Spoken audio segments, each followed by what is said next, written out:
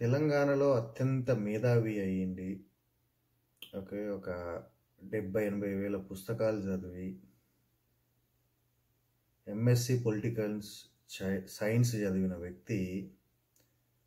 తెలంగాణ సగటు ఆదాయం రెండు లక్షల చిల్లర దేశంలోనే నెంబర్ వన్ అని అన్నాడు.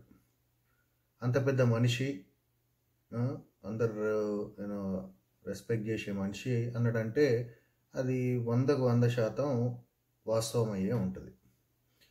అయితే ఇప్పుడు జిఎస్డిపి అని ఇంత పెద్ద పెద్ద మాటలు మాట్లాడితే ఇప్పుడు సామాన్యులకు అర్థం కాదు కదా. అయితే నాకు అర్థమైనట్టు మీకు చెప్తా. ఇప్పుడు ప్రజాప్రతినిధుల సగటు ఆదాయం ఎంత అని చిన్న ఎగ్జాంపుల్ తీసుకున్నాం ఎగ్జాంపుల్ తీసుకునేటప్పుడు ఇక మనకి ఏదో ఒక ఊరు ఉండాలి కదా. సో ఏ ఊరు ఎందుకు? చింతమడక తీసుకుందాం. ఇప్పుడు చింతమడక ప్రజాప్రతినిధులు ఎవరెవరైతారు అవుతారు?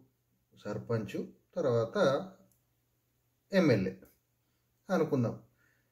సో ఇప్పుడు ఆ ఎమ్మెల్యేకి దేశంలోనే అత్యధిక జీతం ఇస్తున్నారు అన్నట్టు. నాలుగు లక్షల పదివేలు.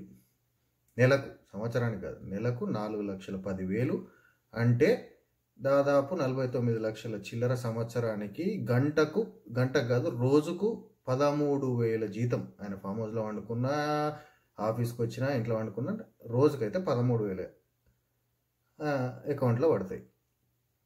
అయితే అదే చింతమడక సర్పంచ్కు జీతం ఎంత అంటే ఐదు వేలు. సో ఇప్పుడు ఈ సగటు ఆదాయం తీసుకోవాలి కదా ప్రజాప్రతినిధుల సగటు ఆదాయం తీసుకుందాం ఇద్దరిది. తీసుకుంటే ఏముంది? ఆయన నాలుగు లక్షల పదివేలు ఈ సర్పంచ్ ఐదు వేలు కాబట్టి రెండు కలిసి నాలుగు లక్షల పదిహేను వేలు. అంటే సగటు ఆదాయం చింతమడక ప్రజాప్రతినిధుల సగటు ఆదాయం ఎంత? రెండు లక్షల ఏడు వేల ఐదు వందల రూపాయలు అన్నట్టు. ఇది చెప్పుకొని చాలా మంచిగా ఉన్నది కదా. దేశంలోనే నెంబర్ వన్ కూడా అయి ఉంటుంది ఇది హండ్రెడ్ పర్సెంట్. ఓకే? అయితే ఇప్పుడు ఈ సగటు ఆదాయం తీసుకొని నువ్వు వీకే పనే ఉన్నదిరా అని అడగొచ్చు మీరు. కరెక్టే. అయితే ఎగ్జాంపుల్ కూడా దానికి కూడా చెప్తా. ఏంటంటే ఇప్పుడు ఈ చింతమడకకు ఏం చేద్దాం అనుకున్నాడంటే ఇంటికో లక్ష రూపాయలు ఇద్దాం అనుకున్నాడు ఫర్ ఎగ్జాంపుల్. అయితే ఏం చేస్తాడంటే బ్యాంక్ దగ్గరికి పోతాడు. బ్యాంక్ దగ్గరికి పోయి ఏ మా ప్రజాప్రతినిధుల ఆదాయం సగటు ఆదాయం రెండు లక్షల ఏడు వేల ఐదు వందలు ఉన్నది. మాకు ఒక కోటి రూపాయలు కావాలి. ఇగో పలా ఇంటికి ఒక లక్ష రూపాయలు ఇద్దాం అనుకుంటున్నాం అంటే బ్యాంక్ అయినా ఆ కాగితాలు చూసి ఓహో ఇంత పెద్ద ఆయన చదువుకుని ఆయన చెప్తున్నాడు ప్రజాప్రతినిధి చెప్తున్నాడు పేపర్ మీద చూసినా కూడా ఒక ఇద్దరు ప్రతినిధులు వాళ్ళకు రెండు లక్షల చిల్లర వస్తున్నది అని అంటే అవును అని ఒక కోటి రూపాయల లోన్ మంజూరు చేస్తాడు. ఆ చింతమడకల్లో లక్ష లక్ష లక్ష అంచుతారు అంతా నిమ్మలం అయిపోతుంది. అయితే నెల కాగానే వాయిదా కట్టాలి. ఏది? బ్యాంకు. అప్పుడు ఈ ఎమ్మెల్యే ఉరుక్కుంటూ వచ్చి అందరికి లక్ష రూపాయలు ఇచ్చినాం కదరా మన పొత్తుల సర్పంచ్ తోటి అంటాడు అన్నట్టు. ఇక కట్టాలి మరి. కట్టాలన్నప్పుడు ఇక నీ వంతుకి యాభై లక్షలు తగిలింది పో అంటాడు. అనగానే సర్పంచ్ పరిశాన్ అవుతాడు అయితే ఇప్పుడు ఈ జిఎస్టి జిఎస్డిపి పరిస్థితి కూడా అదే అన్నట్టు. ఏంటంటే ప్రభుత్వం ఈ లెక్కలు సమర్పిస్తేనే ఎఫ్ఆర్బిఎం ప్రకారము ప్రభుత్వం ఇన్ని లోన్లు తీసుకోవచ్చు అని ఒక కండిషన్ ఉంది మన రాజ్యాంగంలో. సో ఆ కండిషన్ని సాటిస్ఫై చేయడానికి ప్రభుత్వము జిఎస్డిపి పెంచే పనులు చేస్తుంది. అయితే మన తెలంగాణ ప్రభుత్వము ఆ జిఎస్డిపిని చూపించి అప్పులు తీసుకొచ్చింది. ఎంత దాదాపు లక్ష ఎనభై వేలు రెండు లక్షలు. ఇవి కాకుండా మిషన్ భగీరథకు ఒక నలభై వేల కోట్లు ఇక కాళేశ్వరం ప్రాజెక్ట్ ఉంది కదా దానికి ఒక ఎనభై వేల కోట్లు అని కార్పొరేషన్లు పెట్టినారు అంటే ప్రభుత్వం భరోసా ఇస్తుంది సపరేట్ కార్పొరేషన్ దాని కార్పొరేషన్ అదే తీసుకుంటుందని. ఇట్లా ఒక మూడు లక్షల చిల్లర కోట్లు అప్పులు తయారు చేసి పెట్టిండ్రు. ఇప్పుడు చింతమడక సర్పంచ్ ఎవరు అంటే సామాన్య ప్రజానికం. ఇప్పుడు ఆయన చెప్పే లెక్క కూడా గదే అన్నట్టు. ఎమ్మెల్యేకి ఎంత వస్తుంది సర్పంచ్కి ఎంత వస్తుంది రెండు కూడదాం ఇద్దరికి సమానంగా పెడదాం గదే జిఎస్డిపి అన్నట్టు. దేశంలోనే నెంబర్ వన్ అన్నాడు కదా.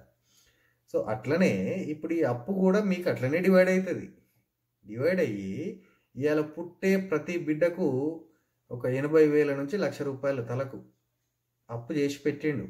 అది మీరే కట్టాలి మళ్ళా. దేశంలో నెంబర్ వన్ ఉన్నా నెంబర్ టూ ఉన్నా. అరే నేను ఎట్లా కడతా? నాకు సంబంధమే లేదు అనుకుంటారు కదా మీరు. ఎట్లా అంటే ఎల్ఆర్ఎస్ అని ఇప్పుడు పైసలు గుంజుతున్నాడా? మందు మీద రేటు పెంచిండా? ఉల్లిగడ్డ రేట్లు పెరిగినాయా? ఇట్లా వివిధ వాటి మీద పన్నుల రూపంలో మీ దగ్గర నుంచే వసూలు చేస్తాడు. సో ఇంట్లో అర్థమైనవానికి అర్థమైనంత. ఇక అర్థం కాని వాళ్ళకు క్లారిఫికేషన్ ఏంటంటే నేను ఒక డెబ్బై ఎనభై వేల పుస్తకాలు చదవలేదు. ఆ మేధావి లెక్క ఎంఎస్సి పొలిటికల్ సైన్స్ కూడా చదవలేదు. నాకు అంతో ఇంతో చదవచ్చు నాకు అర్థమైన దాంట్లో మీకు అర్థమయ్యేటట్టు చెప్పినాను. ఇది తెలంగాణ ప్రజలు మీ ఆదాయం సంవత్సరానికి రెండు లక్షల చిల్లర ఆయన చెప్తున్నాడు కానీ ఆయనకు ఒక రోజుకు ఆదాయం పదమూడు వేల చిల్లర అది మీరే జీతం ఇస్తున్నారు. ప్రజలే జీతం రోజుకు. ఆఫీసుకు పోయినా పోకపోయినా రోజుకు పదమూడు వేల చిల్లర మాత్రం ఆయనకు జీతం పడుతుంది.